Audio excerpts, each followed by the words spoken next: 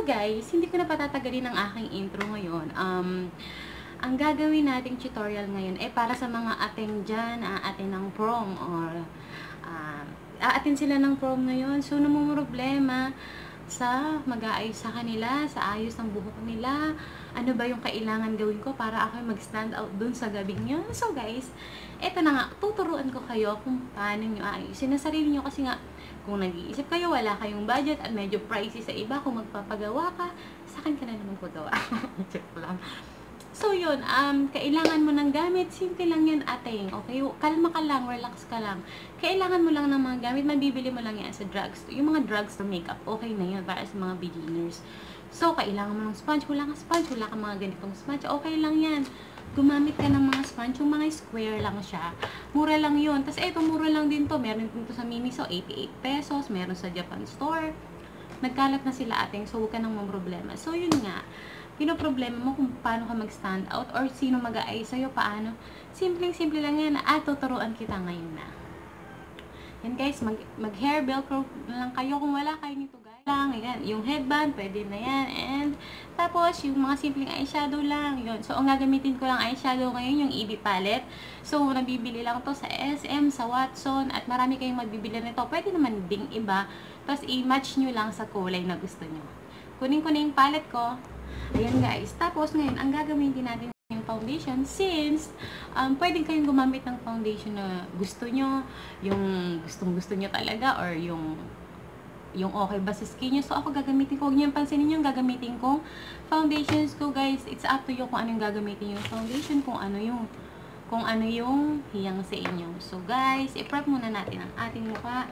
So, mag, mag, mag, mag, maglalagay ako ng primer. Guys, maraming primer na mura, okay? Walang, merong tig 89 pesos. Yan, nakakabili kayo, maghanap lang kayo. So, guys, kung gusto, kung wala naman kayong primer, ang gawin nyo na lang, guys kumuha kayo ng ice or yung malamig na towel or ice water, ihilamos nyo sa mukha nyo. Napaka-importante nun para ma-close yung pores nyo and yung, yung finish ng makeup or foundation sa mukha nyo is matte. So, yun. So, yun na. So, nag-primer ako kasi nga, yan, kunwari aatin din ako ng prom. So, yan. After ng primer, maglagay na tayo ng foundation. Ayan. Kung liquid foundation yung ginagamit nyo, make sure guys na isi-shake nyo siya. Ayan.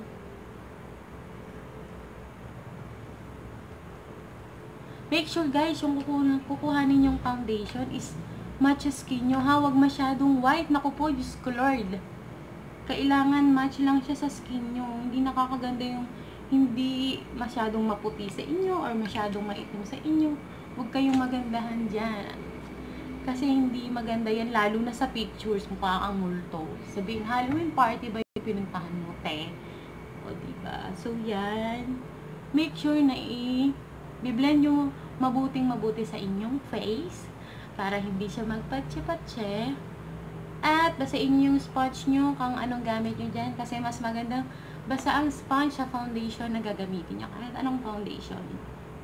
Yan. So, don't forget to blend also here in your anit. Yan. Kasi minsan, ang puti niya, tapos ang itim ng anit niya, or ang atim ng anit niya, puti na. Reverse na lang, ganun na lang. Yan. So, yan. So, make sure na na-blend na. Tapos, guys, excuse me, contour. So, uh, kung wala kayong pang-contour or malaki yung, kasi ang pang-contour, guys, para yan, gusto nyong malagyan ng uh, aura ang inyong face or gusto nyong malagyan ng shape. So, guys, pwede naman yung mga, siguro, eto, EB palette, eto guys, meron na to, andito na lahat, andito na ang blush, andito na ang highlighter, andito na ang contour. So, guys, sige, papakita ko sa inyo kung paano siya gamitin. So, mga brushes, guys, marami ding mura. Yun, uh, so, gagawin din yung Zoeva paano ba tayo mag-contour? Or, eto guys, pala, from EB, um, from Everbelen, 255 lang siya guys. Meron ka ng highlighter and contour, yun. Maraming, maraming, maraming affordable dyan. Like yung Vice Ganda. Ito, ito, ito napakamura nito guys. Asa na yun? Yung Vice Ganda guys, nabili ko lang siya for only only 145 pesos sa Watson. At may pang-contour ka na. Guys, meron din siyang ah, highlighter. Ang kinuha ko yung Splendid. So, ano ba yung gusto nyo gamitin ko? So, hindi kayo makapagsalita. Of course, ako na lang. Ito na lang, EB, para, para nandito na lahat. Ayan. So, kuha tayo ng pang-contour. Ito lang siguro. Kasi masyadong dark yung iba. Ayan. Kumuha ka. And then, itap mo. Basag yung salamin ko. At, ayan. Um, guys, gumanong kayo. Para sa mga beginner. Hmm, para lumabas ang ating jaw. Ang ating cheeks. Kita niyo ba? Pak! O, oh, diba? Pak! Hmm. Hmm.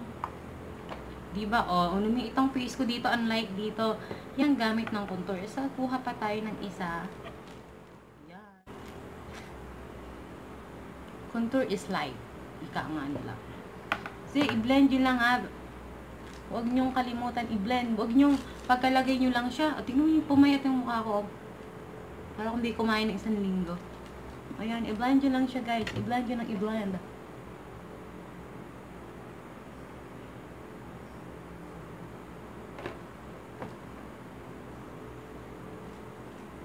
Because blending is the key. Key to success. Ayan, tapos guys, kung malakang inyong panga, mm, dito naman, mm, lagyan mo dyan. I-blend mo lang siya para walang harsh line. I-blend mo lang siya ng i-blend. Mm. Ayan. Guys, tandaan nyo, ang pag-makeup, hindi na dapat natin kailangan ibahin yung mukha natin. Kailangan lang natin i-enhance or uh, pagandahin lang lalo ang ating face. Kasi maganda na tayo. Ayan. So, dito rin sa noo, kung malaki inyong noo, katulad ko. So, i-blend nyo lang siya. Lagyan nyo. Yung mga natira lang ha, wag, naman, wag na kayong mag-dip kasi hindi nyo kailangan ng at itong technique ko guys. So, kung gusto niyo magka-cleft chin, cleft chin. O, tuturuan ko kayo paano magka-cleft chin. Kumuha kayo ng brush ulit at kuhanin niyo yung pinang-contour niyo. Lagay dyan. Hmm. See? Oh, ito sa i-blend nyo. Konti lang ha. Huwag naman yung masyadong Yun guys, so tapos tayo mag-contour. Nakita nyo naman ang effects sa akin, sa aking face. Lumiit talaga siya dahil nagka-shadow siya dito at na, at na-enhance itong pinaka harapan natin. At yan, susunod naman guys, kung oily face naman kayo, uh, mag-bake kayo. Bake, hindi yung magbe-bake ka lang, parang kay hindi. Magbe-bake ka pare sa mukha mo. So, etong Nichido, uh, binili ko to for only 100, 160 ba? 200 plus, parang ganun, mura na kung oily face kayo, ma nako, napaka-effective nito guys. Para mag-mat, sobrang mag-mat yung mukha nyo. At hindi naman sobra. So, kumuha kayo ng powder brush. Ayan. So, meron din pala siyang kasamang. So, ito na lang yung gamitin natin. Sige. Nakakatulong to para sa mga oily skin. Yung gra grabihan mag ano. Grabihan mag um, point up. Just color. Yung pwedeng magtayo ng ano, ng bodega ng mantika dyan. Ayan, lagyan nyo yan. Tapos, lagyan nyo yung mga nag-oil sa inyong kadalasan. Ay, ayan. At intayin nyo lang siya dyan. Siyempre, yung ilong ko kasi nag-oil din ako dyan. Ayan. At hayaan nyo lang siya dyan. So, ngayon, ay maggagawa na tayo ng kilay. At, yan, i-brush lang natin yung mga fallouts na powder. Yan. So, siyempre, ang gamit ko, guys, yung fan, fan ako ng L'Oreal Brow Pomade. Yan. Lagyan natin ng kilay. Ang paglalagay guys ng kilay, wag yung ano ha, baka mag-umpisa kayo dito at tatapos dito. Naku po, wag na wag.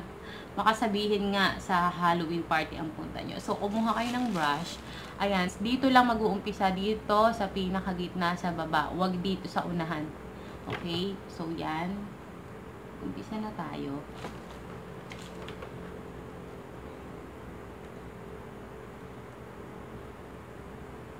Para plakado talaga siya, guys. mag-drawing lang kayo. I-drawing nyo yung gusto nyong shape. Ayan. So, yan. Nilagyan ko na siya sa baba. Nakikita nyo ba? So, nakikita nyo yung kilay ko. Wala siya dyan. Laman masyado. O, hindi siya panta. Ayan.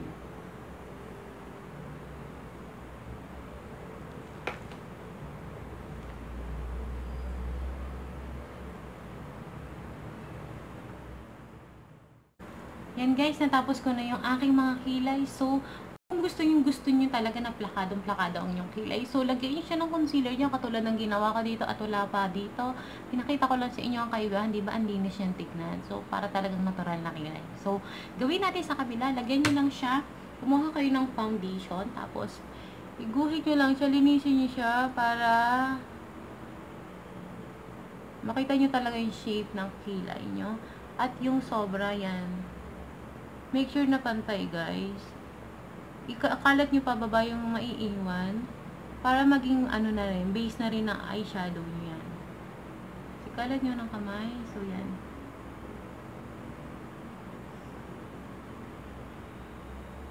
Guys, dun din sa taas.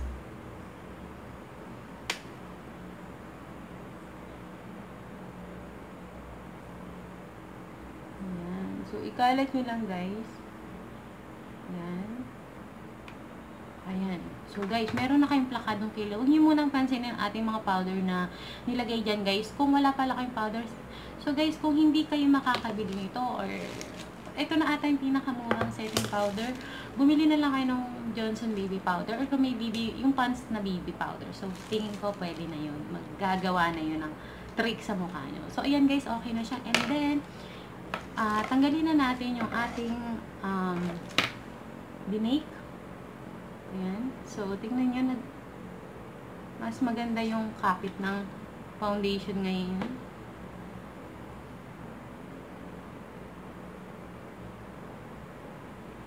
Guys, kung may mga uh, kailangan nyo na concealer, so maglagay lang kayo dyan guys ng concealer. Kailangan yung concealer nyo mas maputi sa mukha nyo. Unang-una natin gagawin ay uh, kukuha tayo ng transition color ilalagay natin sa eyelid. So, ano ba yung transition color? Yung lighter color sa skin natin. So, kuwinin natin to. Kurain sa lamin. Course. Yan. Kunin natin yung lightest color. At, i-blend lang natin sa ating eyelid. I-blend natin siya ng, sa eyelid natin. Yung hawak sa brush, guys, ano lang ha. Huwag masyadong madiin. Yan. Gawin na natin din sa kabila. Guys, ganito gagawin ko. Ang gagawin ko muna yung isang mata ko and then yung isa, sa kabila pa. Yan guys. So, para bumilis tayo, ang ginawa ko muna sa isang mata. At tuturuan ko na kayo kung paano. So, yun nga, katulad ng sabi ko, kumuha kayo ng lightest color. At ilagay nyo sa inyong eyelid. So, nalagyan na natin to kanina. Uh, inuulit ko lang. Para guys, um, talagang kumapit yung, hindi, para guys, talagang kumapit yung, uh, yung foundation, yung, eye, yung eyeshadow natin. Para talaga guys, kumapit yung eyeshadow natin yan. Lagyan nyo siya ng concealer para kapit na kapit talaga siya. And then after that, pagkatapos natin sa transition color, kumuha naman tayo ng isang brush ulit. At lalagay natin dito sa ating outer V. So, ito lang yung, yung kinuha ko, yung pinaka, ba, pale, pa-dark lang siya ng konti ng pa-dark. Pero hindi siya ganun kabonggang-bongga kasi, syempre, kailangan yung natural pa rin natin. Yung may enhance lang yung ating face. Yan. Kalat natin. Mag-umpisa tayo dito sa ating outer B and then papasok. I-blend nyo lang siya ng i-blend guys para wala namang harsh line dyan. Ayan, ayan. Di ba nakita nyo meron na agad siyang shadow. Yan. Dito muna, and then papasok sa ating crease. Ano ba yung crease? Yan yung parang pinaka malalim dyan. Yan. Para ma-enhance din yan. So, yan. Pagkatapos yan, so okay na. Kumuha pa tayo ng medyo dark. Ito naman. Kailangan konti-konti lang para hindi masyadong mabigla dyan. Again, ulit the outer V and then papasok. Ayan. So, i-blend lang ng i-blend. Kita nyo guys, may shadow na siya.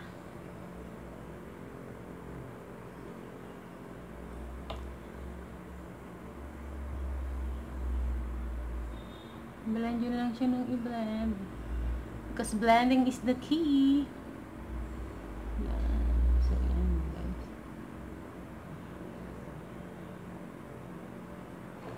Kuha ulit tayo Same color din, top.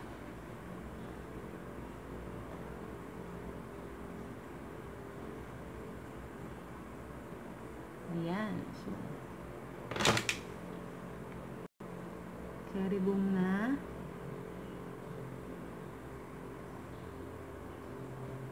Ayan guys, pagkatapos niyan, Pagkatapos yun guys, kukuha ulit tayo ng isang brush, shader brush. Tama ba ito? Oo, flat shader brush. Kukuha natin itong parang champagne color yan. Medyo ma-fall out lang siya, pero ingat. Tapos, kuha tayo ng spray para maging intense yung pagka shimmer niya dyan. So, yan. And, lalagay natin dito sa gitna, katulad ng ginawa natin sa kabila.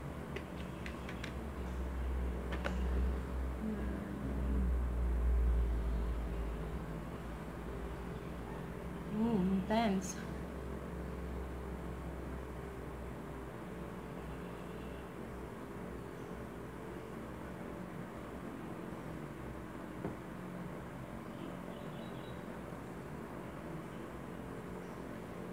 Yan guys, tapos pagkalagay na natin, kukunin ulit natin yung pinang brush natin dito sa gilid at kuhanin natin yung pinaka dark. Hindi naman kasi black to, so more on brown siya. Ito, kunin natin to. Konti lang and then tap. Lalagay ulit natin siya sa outer B. Para magkaroon ng smoky effect. Effects.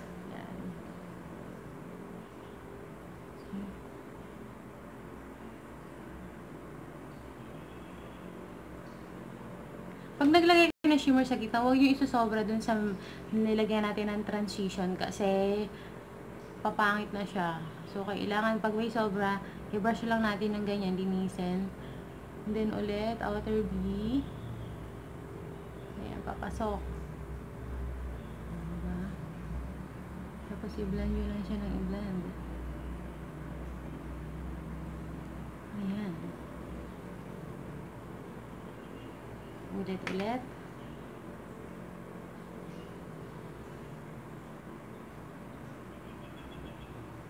Papasok. Gilid muna and then papasok. Yan. Tapos, i-blend na natin siya para makatulad na siya sa kabila.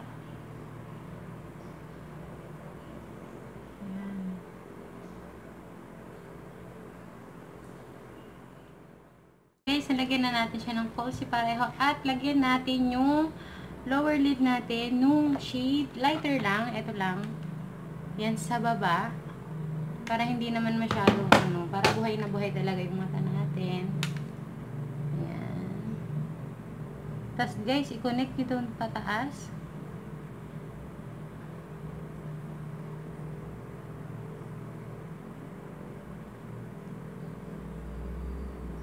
Ayan. Tapos guys, lagyan natin ng mascara sa baba. At mag-nose line naman tayo gamit ulit ito. So, nandito na lahat talaga. Yung lighter color. And mag-nose line tayo. Ayan. Alam niyo naman, ang mga Pilipino, hindi masyadong nabiyayaan ng magandang ilong.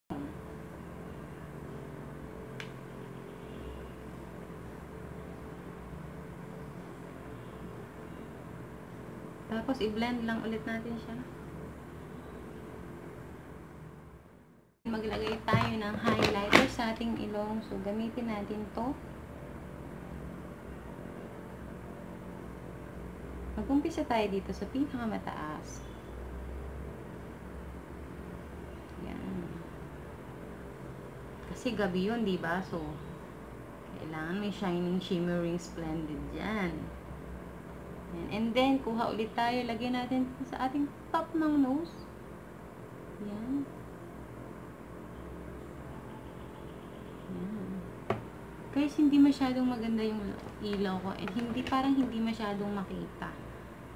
Ayan. So, ayan. And then, maglagay din tayo dito. Diba? Nakikita nyo ba yung effect? At, mag-blush on lang ako and mag-lipstick din. Babalik.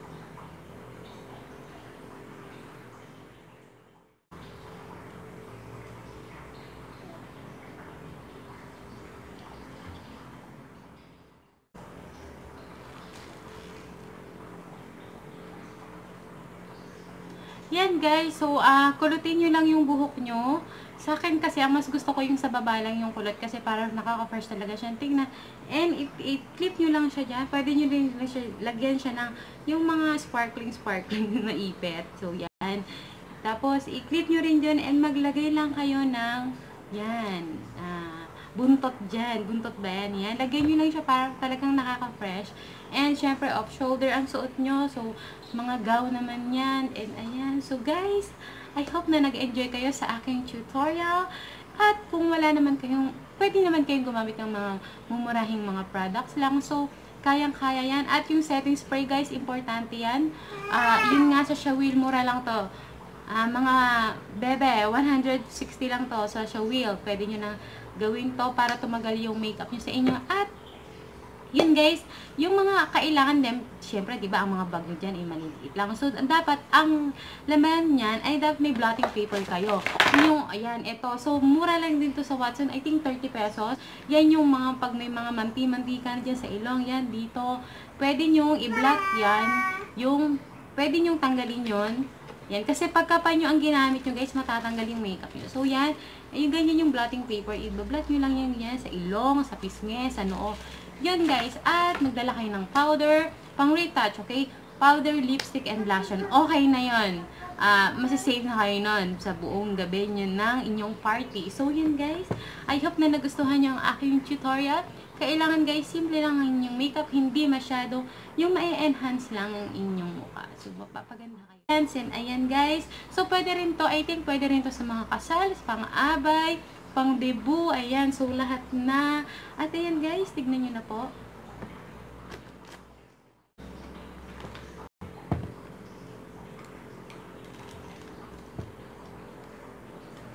Ayan guys, so feel na feel ko na naman at nagmamaganda ako ngayong araw na to kasi nga nakikita nyo naman sa mga videos ko na mukha ako lasyangera. So guys, kung may natutunan kayo or kung may mga katunungan kayo, just comment down below at sasagutin ko yan. And let's be friends forever. Don't forget to subscribe on my channel and like this video. You can share it also to your friends para naman malaman nila ang simple at pwedeng gawin lang sa bahay. At guys, maraming maraming salamat po at isang mapagpalang araw po sa atin lahat. And see you on my next video. Bye!